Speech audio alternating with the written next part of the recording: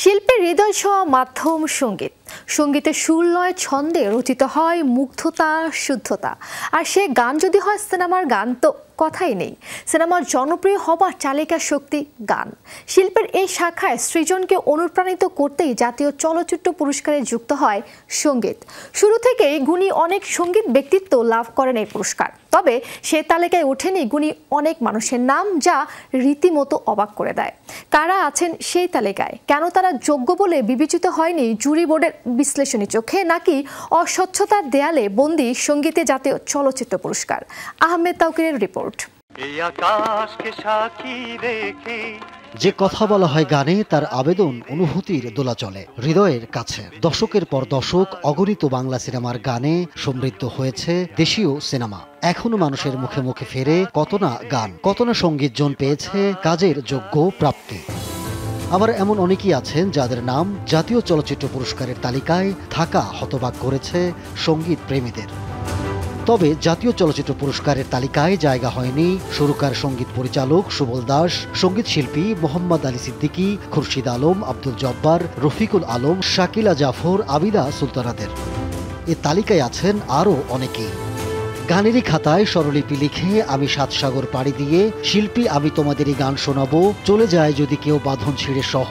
অসংখ্য গানের সুরকার ও সংগীত পরিচালক সুবল দাসের প্রাপ্তির ঝুলিতে নেই জাতীয় চলচ্চিত্র পুরস্কার। যেই মিউজিক ডাইরেক্টরের এই মানে মানে শখানেক গানের গানের উপরে সুপার ডুপার হিট গান আছে, ওনাকে আসলে ন্যাশনাল অ্যাওয়ার্ডটা না দেওয়া বা উনি যে পায়নি, এটা আসলে মানে আমার কাছে অন্তত একটা দুঃখজনক ব্যাপার। মাগোমা ওগোমা আমারে চুমকি চলেছে একা পথে যদি বউ সাজগো এ আকাশকে সাক্ষী রেখে ও চোখে চোখ পড়েছে যখনই সহ অগণিত গানের সংগীত শিল্পী খুরশিদ আলমের ভাগ্যে জোটেনি জাতীয় চলচ্চিত্র পুরস্কার। সমাধির ছায়াছবিতে মাগোমা এই গানটি যখন রাত্রে দেড়টার সময় রেকর্ডিং শেষ হলো কাকরাইলে ইপসে স্টুডিওতে তখন সদ্যদা আমাকে বলল তুই এই গানে পুরস্কার পাবে। আমি সদ্যদা আমি জীবনে কোনো পুরস্কার পাওয়ার জন্য গান গাই না। যদি পুরস্কার পাওয়ার জন্য গান গাইতাম তাহলে আমার বোধ হয় অনেক আগে রিটায়ার করা উচিত ছিল। গুণী সংগীত ব্যক্তিত্বদের জাতীয় চলচ্চিত্র পুরস্কার না পাবার কারণ কি? কারাই বা নেপথ্যে। যোগ্যতা থাকার পাশাপাশি এই ধরনের যোগ্যতাটাও থাকা দরকার। গিয়ে একটুখানি একটু আড্ডা দেওয়া একটু চা পানি খাওয়া একটু খুশি করা। আমি যখন রাজত্ব করছিলাম তখন যারা কমিটিতে ছিল হয়তো তাদের চোখে আমি উপযুক্ত ছিলাম না। বর্ষিয়ান সুরকার ও সংগীত পরিচালক শেখ সাদিক খান কি বলবেন? কেন সঙ্গীতের এই মেধাবী ব্যক্তিত্বরা পাননি প্রকৃত সম্মান? যে কালকে কাজ করছে সে দেখা গেল যে পরশুদিন সে জাতীয় চলচ্চিত্র পুরস্কার পেয়ে যায়। তাহলে যারা দীর্ঘ পরিশ্রম করে, দীর্ঘ অবদান রেখে চল- চলচ্চিত্র পুরস্কার পায়নি, জাতীয় চলচ্চিত্র পুরস্কার পায়নি, আর যারা পেয়ে যাচ্ছে তাদের সঙ্গে তাদের ডিফারেন্সটা কী?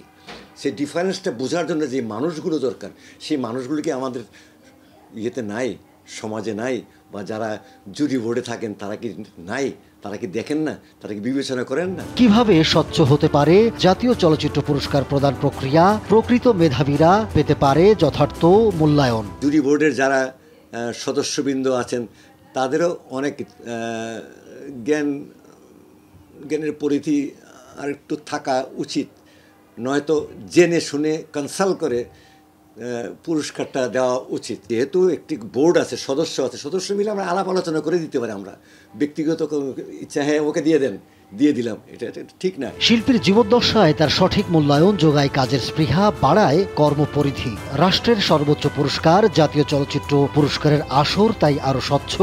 বিতর্ক মুক্ত করতে পারলে যোগ্য ব্যক্তিরা পাবেন সম্মান, বাড়বে কাজের গতি। অনুকরণীয় আদর্শ রচিত হবে প্রজন্মের পর প্রজন্মে। কিন্তু সেদিন কবে?